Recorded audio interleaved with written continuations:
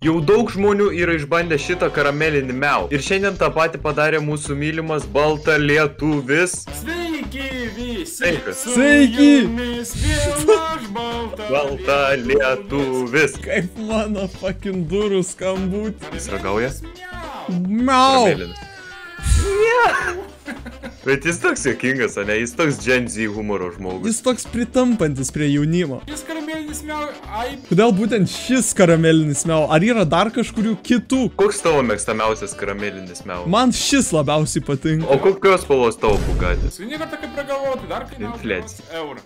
Eurą kainuodavo? Jis tą patį kalbėjo apie melininį miau, aš labai gerai pamenu. Kainavo dar 99 euro centus. Nepamenu, kad tik eurą kainuotų. Senais laikais čia buvo. Čia kai tu dar gimęs nebuvai. Pažvelkim į sudėtį, žiūrėsim, ko čia jį pridėtų. Sūdyti. Spėjimai. Kiek gramų cukraus? 30. 22 gramai. Ui, ne, ne, ne. 21 gramas cukraus. labai pakeičia. Čia- Ar, ar tu narkoman? Duodis pienas, cukrus, karamelinis skonio sirupas. tada- O pasakys. Žinai, kaip sudėtis veikia, jisai išvardino. Ir Pirmoji vietoje daugiausiai yra pieno, antroje vietoje yra cukraus ir tik tada karamelė. Kebra, negerkit karamelinę miau, čia yra nuodai. Fosfatas. Jau chemija prasideda. Čia reaguoja. Bėguoja. Pridėta. Ką sakė? Jo video žiūrėt kaip e, kokiam balyje, klausytis kaip dėdė kalbasi su tavim. Su burna?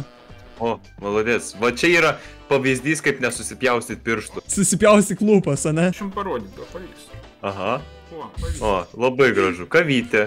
Man labiau primena tokį bananinio miausą. Bananinis geltonas, čia labai oranžinis. Išgąsim Nu, sveikatą. Nes karamelinis genijų.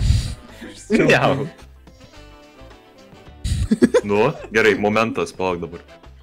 Nu, da, visai sa savo Nu, da. skonius įsiskydai. Ar kava primena? Miški toks, kaip sakyčiau, koks, kažkoks kaip ir šokoladinio miau ir dar kažkokį tai miksą. Šoks. Ne, negaliu sutikti. Neblogai visai tos, visai skanu žinot. Dar biški liko, dar porą guršnių bus viskas. Vertinsim skonį. Ai, vertins skonį. Keturis guršnis padariau, dar visi yra.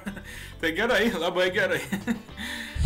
Su ta situacija, kur apie dėdę kalbėjau. Išgėliau, žinokit. Tiesą pasakius, man, Tėvas po kaltinimų. tiesą pasakius, man jis nelabai patiko, žinokit.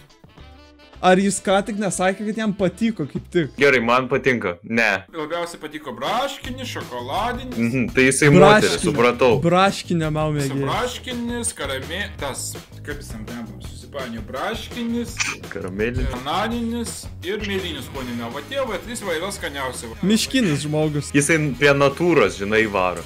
Aš rekomenduoju paragauti su tą sąlygą, jeigu mėgsti paeksperimentuoti su skoniu. Pasiksperimentuok su savimi. Kaip čia yra eksperimentuojamas? Ek... Nu kiek skonį? Kiek skonį? Kiek? Verdiktas? Su šeštu tik tai žinok. Šešt?